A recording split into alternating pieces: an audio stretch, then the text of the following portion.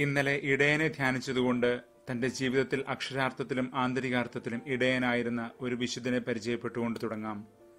ഇന്നത്തെ തിരുനാളിന് കാരണഭൂതനായ പതിനഞ്ചാം നൂറ്റാണ്ടിൽ ജീവിച്ചു മരിച്ച ഒരു കപ്പുച്ചിൻ സന്യാസി മോന്തഗ്രനാറോയിലെ വിശുദ്ധ സെറാഫിൻ.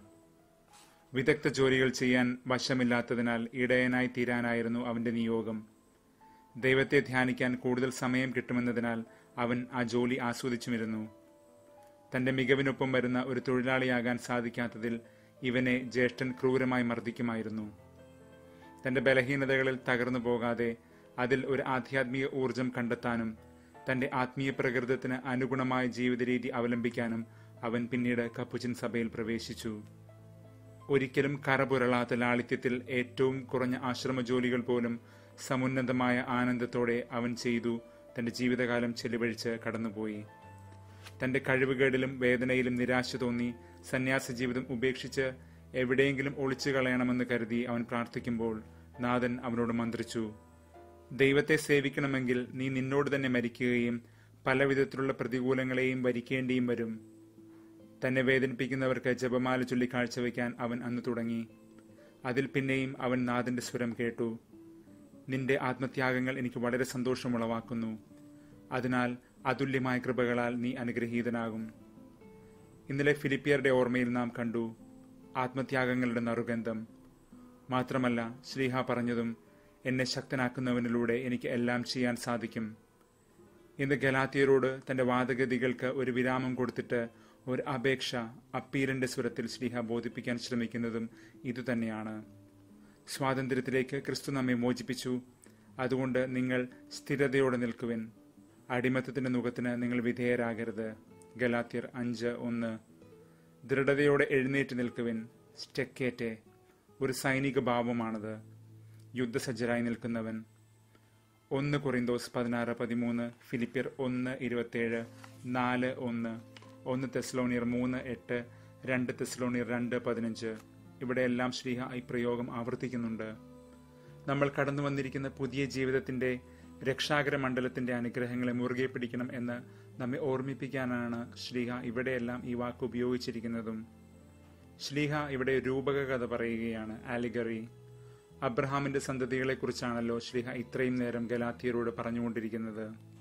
പിതാവായ അബ്രഹാത്തെ കണ്ടുവരുന്ന നമ്മൾ ഇനി അബ്രഹാമിൽ നിന്ന് പുത്രന്മാരെ ജനിപ്പിച്ച രണ്ട് മാതാക്കളെ കാണും. അടിമ സ്ത്രീയായ ഹാഗാർ സ്വതന്ത്രയായ സാറ.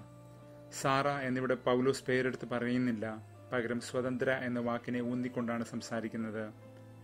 ഏഷ്യ അമ്പത്തിനാല് ഒന്നിനെ ആധാരമാക്കിയാണ് ശ്ലീഹ ഈ കഥ മുന്നോട്ട് കൊണ്ടുപോകുന്നത്.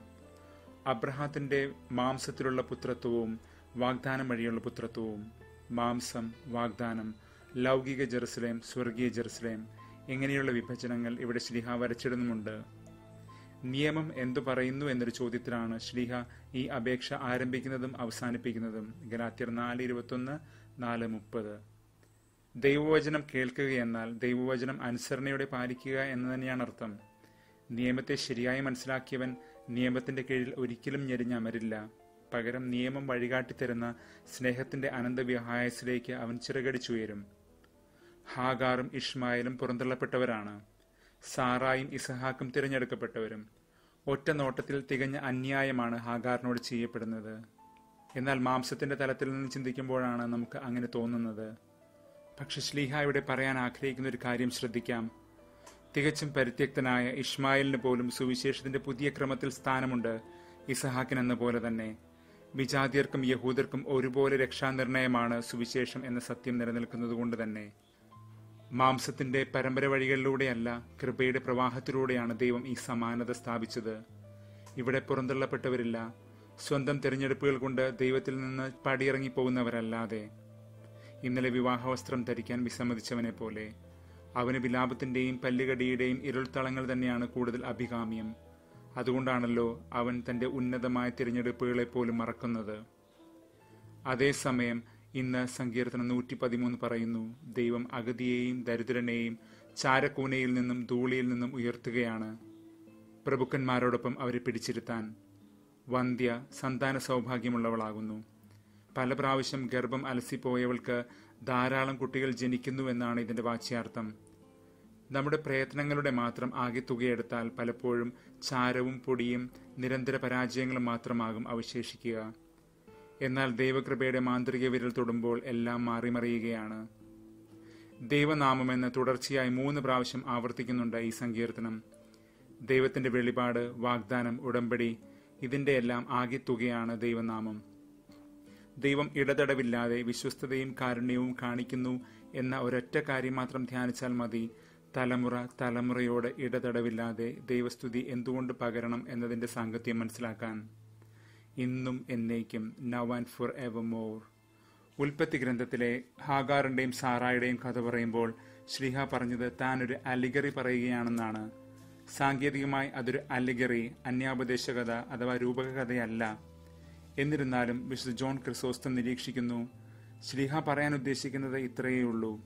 രക്ഷാകര ചരിത്രത്തിൽ എന്നോ നടന്ന സംഭവക്കുറിപ്പുകളല്ല പഴയ നിയമ വിവരണങ്ങൾ അവ വരും കാലത്തേക്കെല്ലാമുള്ള തനിയാവർത്തനങ്ങളാണ്. ദൈവം അന്നും ഇന്നും എന്നും മാറ്റമില്ലാത്തവനാണ്.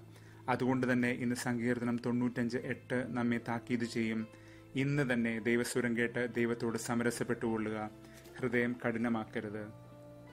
ലൂക്ക പതിനൊന്ന് പതിനാറിൽ ജനം നാഥനോട് അടയാളം ആവശ്യപ്പെടുന്നുണ്ട്.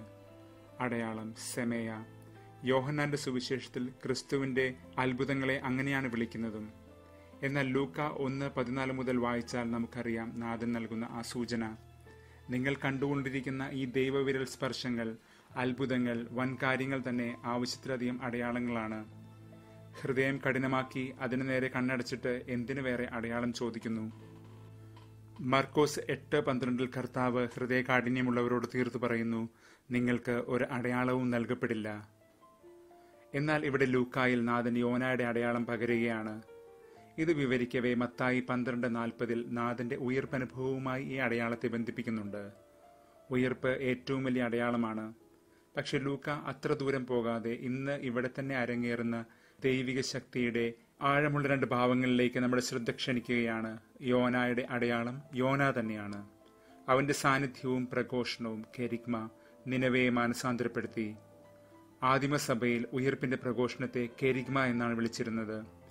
സുവിശേഷത്തിന്റെ സാരാംശം. കർത്താവിന്റെ വചനത്തിന്റെ അധികാരവും ശക്തിയും അത്ഭുതങ്ങളും ലൂക്കായ്ക്ക് പരമപ്രധാനമാണെന്ന് നാം മുൻപൊരിക്കൽ ധ്യാനിച്ചിട്ടുള്ളതാണ്. ഗലാത്തിയരോടും ശ്രീഹാദ് തന്നെ പറഞ്ഞിരുന്നു അന്ന് കേട്ട സുവിശേഷവും ഇന്ന് അരങ്ങേറുന്ന ദൈവാത്മാവിന്റെ പ്രവർത്തനവും അത് അന്നും ഇന്നുമല്ല ദൈവത്തിന്റെ ഇത്തിരി വലിയ ഇന്ന് തന്നെയാണ് അരങ്ങേറുന്നത് രക്ഷയുടെ ഈ മുഹൂർത്തത്തിൽ. നമ്മൾ ഒരിക്കൽ കേട്ട ഈ വചനത്തെ ആസ്പദമാക്കി ഇന്നും ഫലമണിയാൻ നമ്മളെ പഠിപ്പിക്കുന്നതും പരിപാലിക്കുന്നതും ശക്തി പകരുന്നതും പരിശുദ്ധാത്മാവാണ്. ഇന്ന് പൗലോസിന്റെ പ്രഭാഷണത്തിന് ആധാരമായ ഏഷ്യ അമ്പത്തിനാല് ഒന്നിലും കാലത്തിന്റെ പൂർത്തീകരണത്തിൽ പരിശുദ്ധാത്മാവിന്റെ ഈ പ്രവർത്തനത്തെയാണ് സൂചിപ്പിക്കുന്നത്. ദൈവത്തിന്റെ അങ്കുലീചരണമായ ഈ പരിശുദ്ധാത്മാവിനെ കാണുമ്പോൾ നാം അറിഞ്ഞുകൊള്ളുക. ദൈവരാജ്യം ഇങ്ങെത്തിക്കഴിഞ്ഞു. എഴുന്നേറ്റ് നിന്ന് തല ഉയർത്തി നോക്കുക. രക്ഷ കയ്യെത്തും ദൂരത്തായി. ലൂക്ക ഇരുപത്തൊന്ന് ഇരുപത്തെട്ട്.